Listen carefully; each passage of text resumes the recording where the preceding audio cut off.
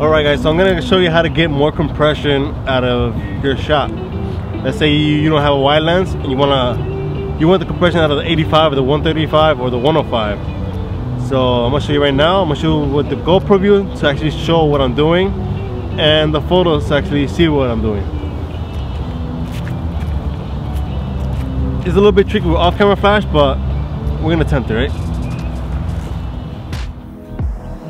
Look more higher, more up. There you go.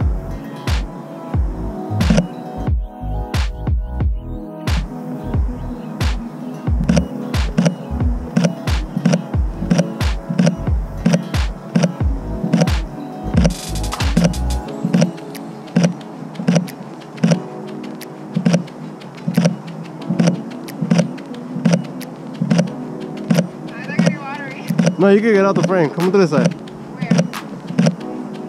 It's, oh, stay there.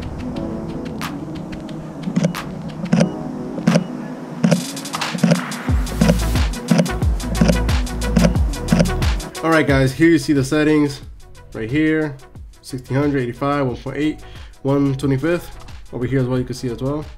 Here, here you can see is a normal portrait. Normal portrait right there, right? It didn't work out the way I wanted to with off-camera flash, but I did it again with natural light, just in case as a precaution if it didn't work the way I wanted to. In this case, it didn't. So I did it again, natural light.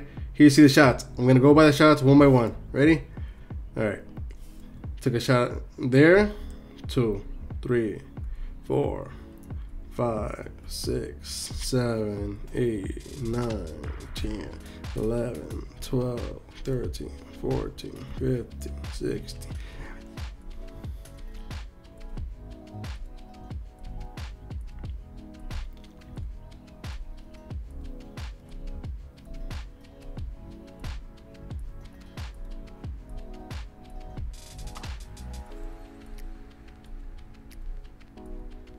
And the result, I got to this. Now, in order to get here, this is the final image, by the way, right here. It looks higher, I could just lower the highlights, but in order to get from here, in order to get there, you have to go back, and I added from here to there, as you probably see in the thumbnail. So I select the first one, go all the way to the last image, in this case, it took a little bit extra, more than I had to.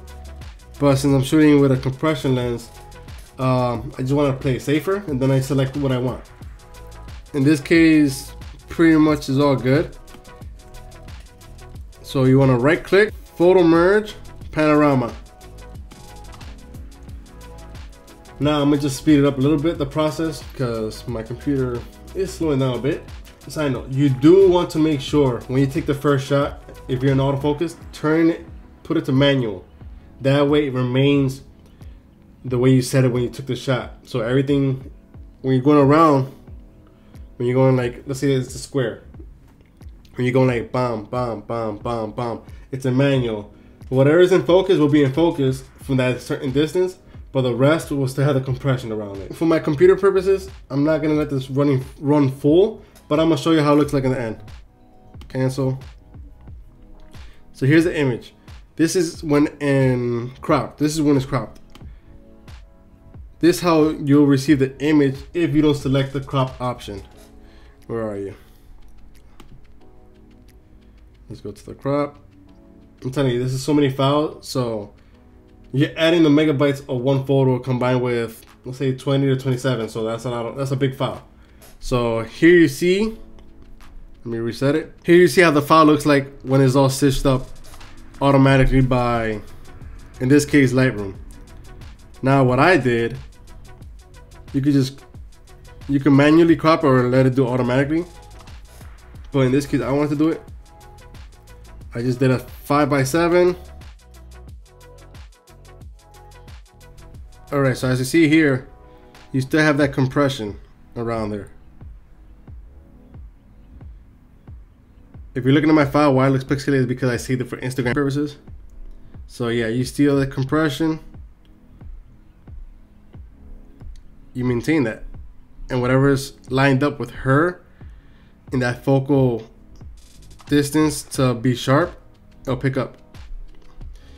So yeah, that's how you get more compression out of your camera while taking it to Lightroom to make it a wider shot. Also known as the Brenizer effect. I'll put the, the description in other videos. You can just Google it, how, how to achieve the Brenizer uh, effect. I believe I'm saying the name right, but from what I heard, it's Brenizer. Let me double check. Correction, the Brenizer method. so yeah, just Google it. It's pretty simple. Don't overdo it. As in my case, don't copy what I did here, because that processing time can take longer than expected. But yeah, that's how you achieve it. It's great for family portrait sessions when you mainly take one lens for a portrait like a 85 or a 50 and you take that full body shot and just take around it and maintain the, uh, maintain the compression.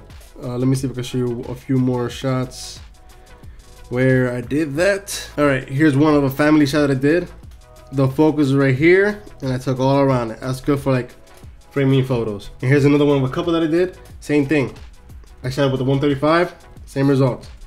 So it's good to have as a backup whenever you forget the wider lens or you want the compression. So yeah, hope you enjoyed this video. Please give it a big thumb up. Please give it a big thumbs up if it was informative. And happy Thanksgiving if you're watching this before Thanksgiving. If you're watching this after, hope you enjoyed Thanksgiving. Peace.